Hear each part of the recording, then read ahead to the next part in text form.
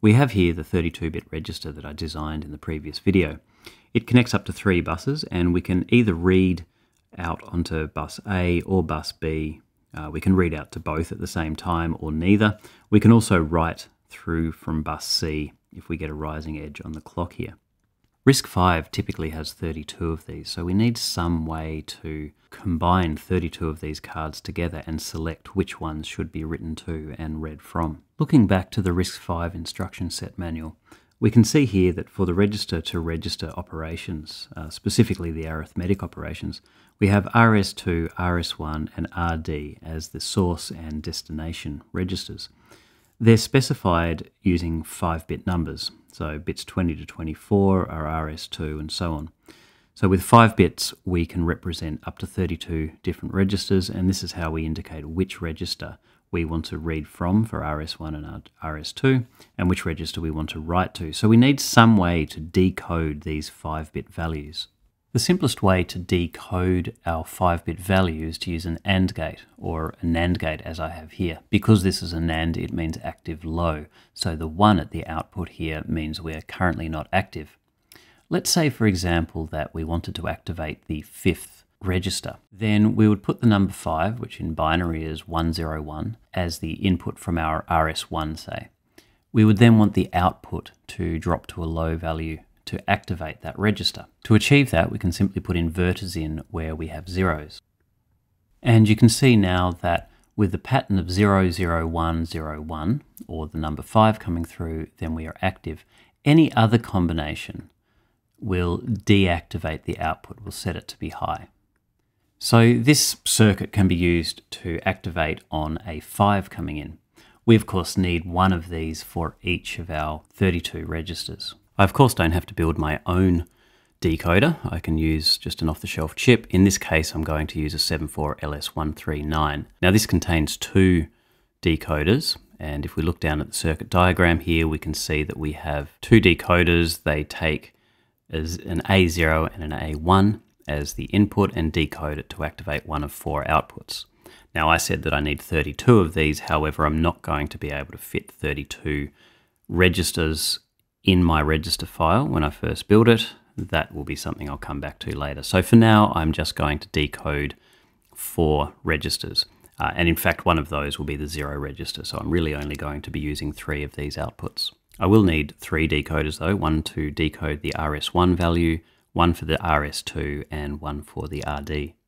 I've prepared the register file schematic here in KiCad, and if I zoom in to the address decoding section here, I have the three decoders here, one for enabling the output to the A bus, one for enabling the output to the B bus, and one for enabling the write into each of the registers. So you can see here that I'm decoding the first two bits out of our five bits, and that's all I need to be able to say, am I addressing register 0, 1, 2, or 3? Since I'm only using the two low order bits of our 5-bit register address, I have to deal with the other three higher order bits.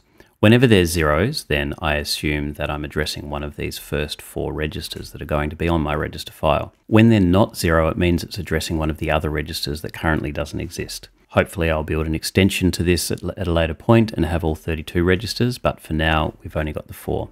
So I need to disable the first four registers if those three higher order bits are not all zero. And I've done that here with NOR gates. Now, the reason I'm using NOR gates is simply because I was struggling to find any three input OR gates that were readily available. NOR gates followed by inverters will do the trick though. So when all three bits are zero, then the OR gate will output a zero, and these chips are active low. So that means when we're addressing registers 0, 1, 2, or 3, the appropriate register will be enabled either for reading or writing. If we scroll over to where I've actually got the register slots, each of these three sub-pages here, register 1, register 2, and register 3, they are referring to a card edge connector that I'll be able to slot my register into. The clock for these is connected up to the write enable. This is designed so that on the falling edge of the global clock, if the write enable flag is set for the particular register, and our instruction is telling us that we want to write, and that's what this write RD signal is here. When all three of those are low, then we will generate a low signal into the clock input. And that falling edge down to the low signal will write the value into the register. This way I can read from registers in the first half of our clock cycle and write to the register in the second half.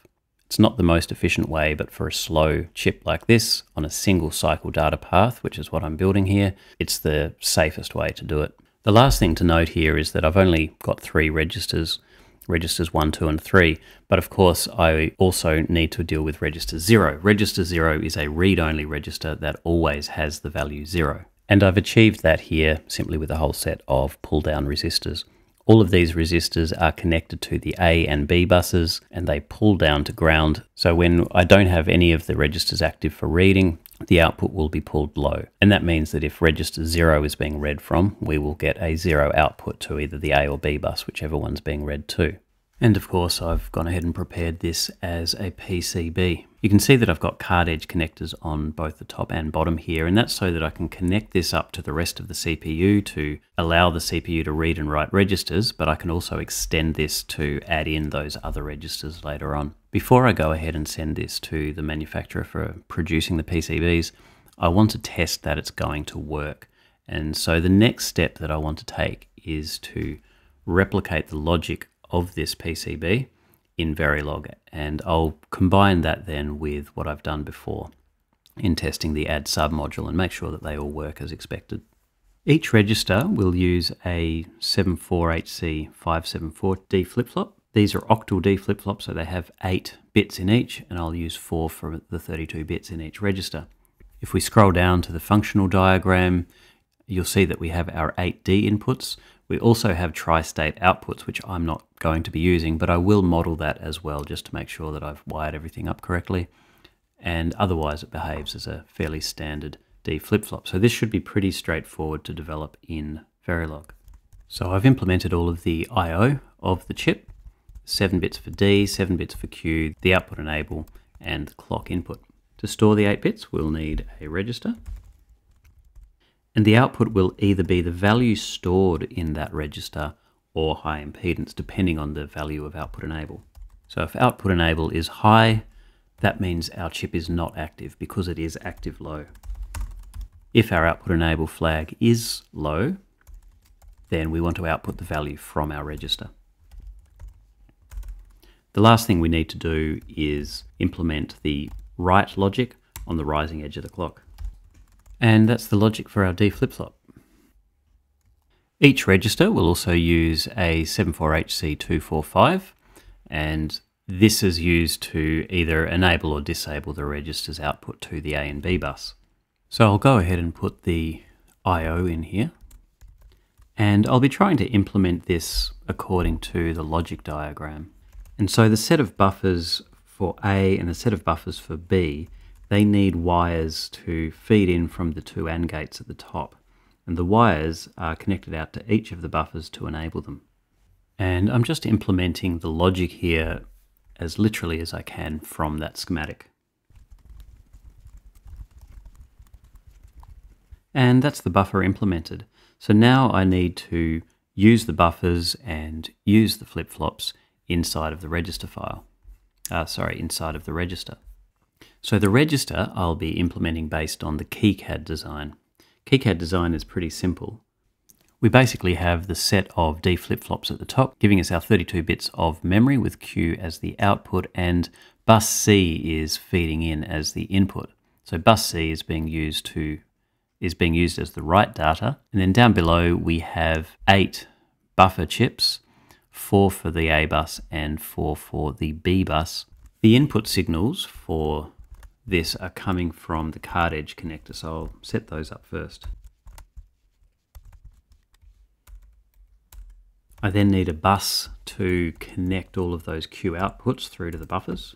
And then I just need to wire up four of the D flip-flops through to the eight buffers. I'm going to do this in a bit of a lazy way. Um, I could make this a bit neater, but for the sake of readability, I'm actually going to spell these out one by one. So I'll add an instance of the D flip-flop.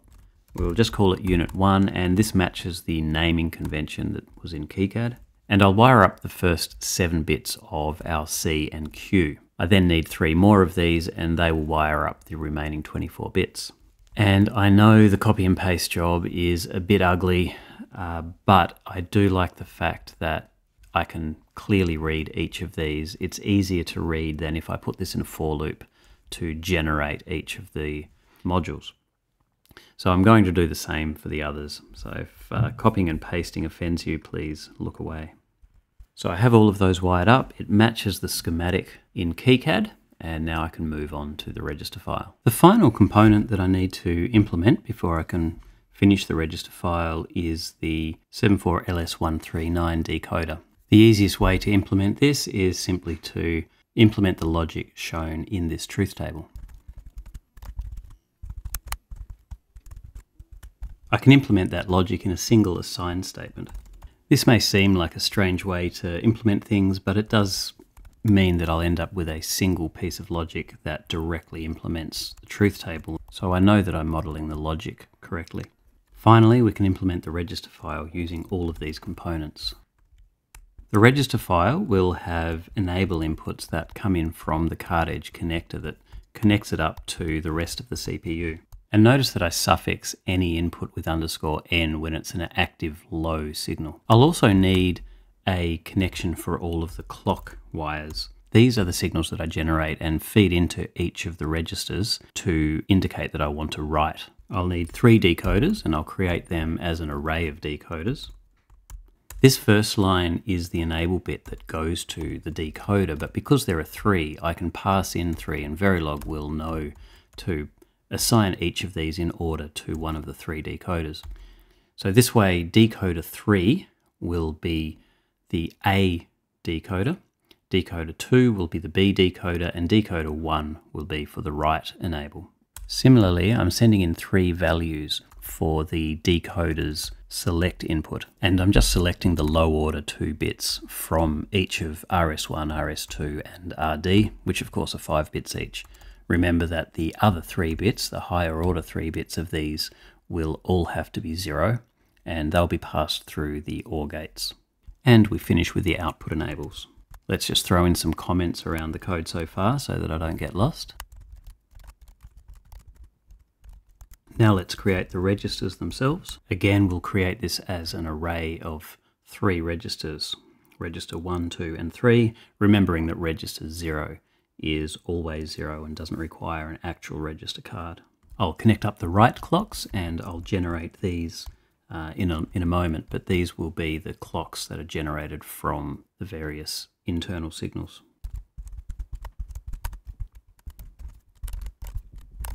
And let me just fix up a few of the errors there. And now I'll go on and implement the logic. I'll start with a logic that enables the decoders, and that I'll just use OR gates. I won't bother with NOR followed by NOT. And this syntax here where I have the OR symbol or the pipe before the variable name, in this case rs1, just means that we take all of the bits in rs1 and OR them together. Next, I'll implement the write enable clocks. Again, I could probably implement this in a more clever way so that I don't repeat lines of code that are almost exactly the same.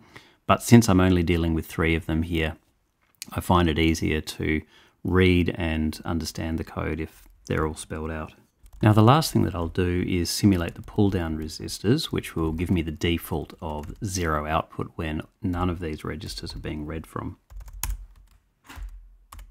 And I'll just do that by checking if the output enable flag is set. If it is set, as in low, then I'll output zeros, otherwise I'll output high impedance. And that's the end of the module. So now I've built the register file, I've got all of the components necessary and the wiring and the register cards virtually inserted into the register file. To test the register file module, I'll load it onto an FPGA as I did previously when I wrote Verilog test cases. Okay, we can see that bus C, which is the input to the register file, is the other bits over on the right. And if I want to program a value in, remembering I can't program into register 0, uh, let's program into register 1. So I'll set that to a 1, and I can set whatever value I want here. We'll set a and 3. So it should be programming 3A into register 1. Now I can flick the write enable flag, remembering that it's active low, and that should have now programmed into register 1. I can read that out onto bus A. And there we go, we see our 3A. And bus B, I could read it out to there as well. Let's program bus 2 and we'll set that to be some other random combination here. And let's write that out. I'll read that and apparently I put in 5 2. So that looks like it's working. We can write to register 1, register 2, we can read to bus A and B. For completeness, I should check that I can write something into bus 3. And let's read bus 3 out onto A. And that appears to have worked as well. Fantastic. So that proves that the logic that I've defined works. Gives me a little bit of confidence that my design is going to work. And so I'll send off to get the PCBs manufactured and uh, develop this in hardware.